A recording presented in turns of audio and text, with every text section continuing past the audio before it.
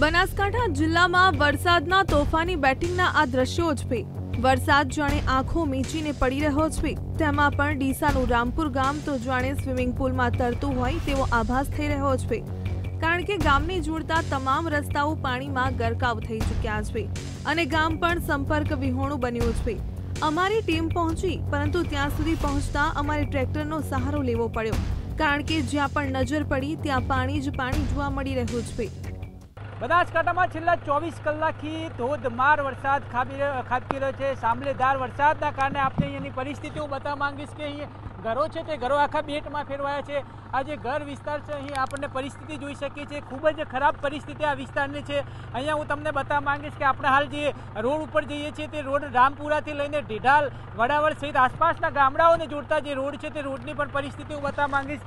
બધા જ સાધનો અહીંથી બંધ કરી દેવામાં આવ્યા છે. સંપર્ક વિહોણા ગામ બન્યા છે. મોટા સાધનો અહીંથી ફક્ત પસાર થઈ રહ્યા છે.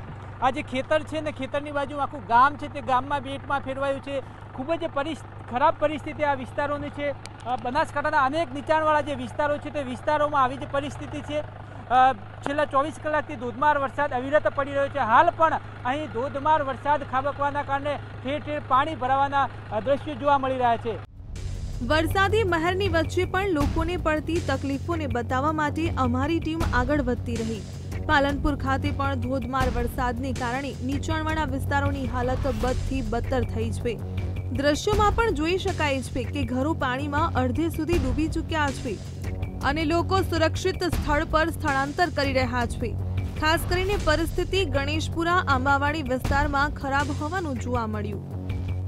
આગળ વધતા અમારી ટીમ ઇકબાલગઢ ગામે પહોંચી. તો આ દ્રશ્યને જોતા એવું લાગ્યું કે ઘડ પાણીમાં ડૂબી ગયો છે. અહીં ત્રણ કલાકમાં ચાર ઇંચ જેટલો વરસાદ ખાબક્યો.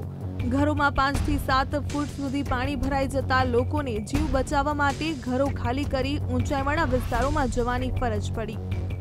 બનાસકાંઠાના દિયોદરની આસપાસ પણ ગામડાઓ બેટમાં ફેરવાઈ ગયા છે. આ દ્રશ્યોમાં ઘરો અને ખેતરોમાં કેવી રીતે પૂરની જેમ પાણી ફરી વળ્યા છે તે જોઈ શકાય છે.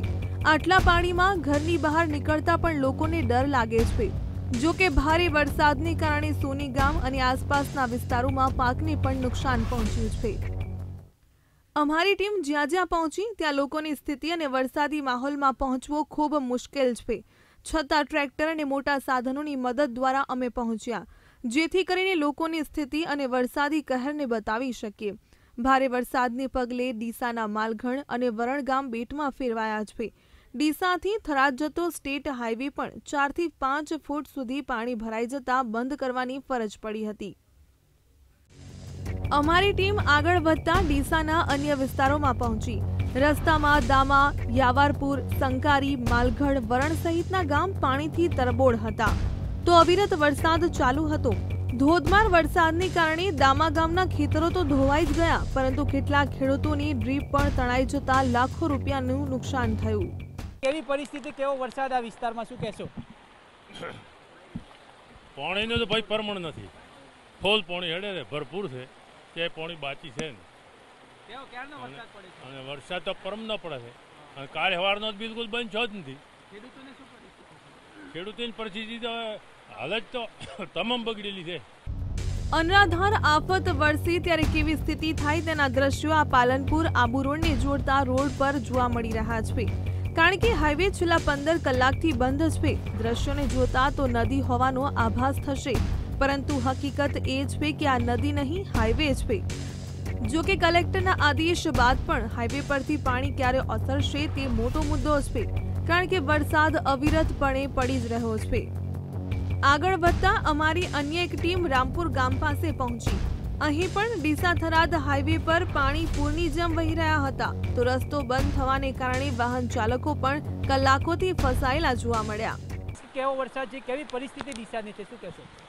પરેશભાઈ અતિ સંવેદનશીલ પરિસ્થિતિમાં અત્યારે ડીસા તાલુકો ગુજરી રહ્યો છે. સમગ્ર બનાસકાંઠાને અને ઉપરવાસમાં માઉન્ટ આબુમાં જે વરસાદ પડી રહ્યો છે એની આવક પણ અત્યારે લગભગ લાખ ક્યુસેકની આવક થઈ ગઈ છે. સતત ગઈકાલે આઠ ઇંચ વરસાદ પડ્યો છે. સવારનો ચાલુ છે. એવું જોતા લાગે છે કે બેટમાં દસેક ગામો તો ફેરવાઈ ગયા છે. સંપર્ક ન તૂટે એના માટે તંત્ર પણ ખડેપગે તૈયાર છે અને કેવી રીતે નીચાણવાળા વિસ્તારોમાં લોકોને લઈ શકાય એ પ્રમાણેની પૂરી તૈયારી કરેલી છે.